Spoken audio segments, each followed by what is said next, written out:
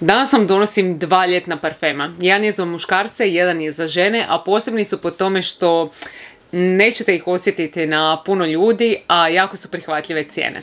Nastavite gledati.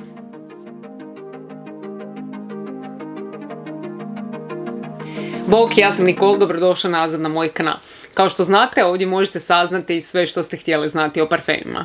Ja sam nedavno otkrila da Pivita ima čak i dva parfema u svojoj kolekciji. Već duže znam za brand i zapravo mi nikad nije palo na pamet pogledati imaju li mirise, tako da kad sam saznala da imaju stvarno me to uh, razveselilo i odlučila sam isprobati. I to i muški i ženski. Cijela filozofija brenda se vrti oko pčela, što mi je jako drago, iako se užasno bojim pčela, ali znamo koliko su pčele bitne za ekosustav, tako da mi je lijepo vidjeti da je brand posvećen uh, tome i da zapravo i donira u te svrhe ali tu ste zbog parfema, niste zbog e, cijele filozofije brenda.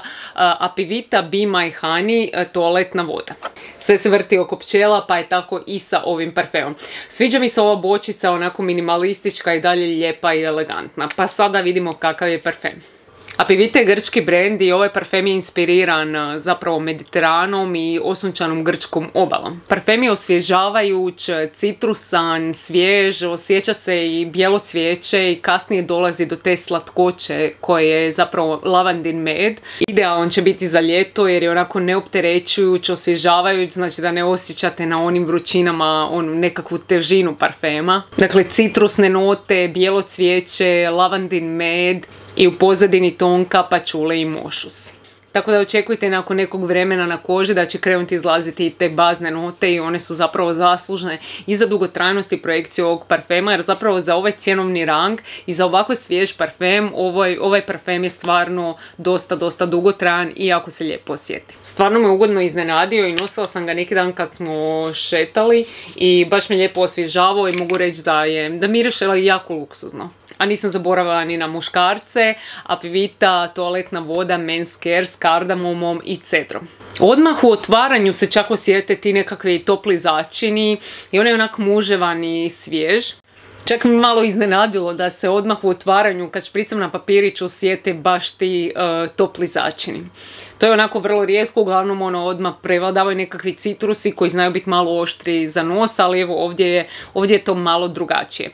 E, kod ovog parfema isto bitno spomenuti radi 90% e, prirodnih sastojaka, da se tu radi o organskim parfemskim e, uljima i da je alkohol dobiven prirodnim putem dobiveni iz derivata organskih e, žitarica ili pšenice, tako da mislim da je to onako dosta zanimljivo i možda za neko ko ima probleme sa alergijama ili nešto, mislim da se onda isplati isprobati. Na prvom mjestu po meni je toplo začinski, aromatičan i onda je svjež. Znači stvarno lijep muževan parfem koji možete nositi, se može nositi kroz cijelu godinu. Biće fenomenalan za ljeto jer je dosta onako, baš daje energiju, djeluje dinamično i energično. Tako da rekla bi da je i za takvu nekakvu osobu. I to bi bilo to od parfema iz Apivite. Nadam se da će imati još nešto.